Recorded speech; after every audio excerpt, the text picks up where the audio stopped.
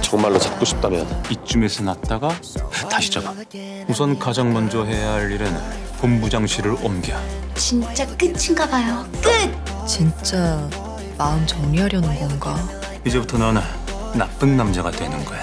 질투 작전.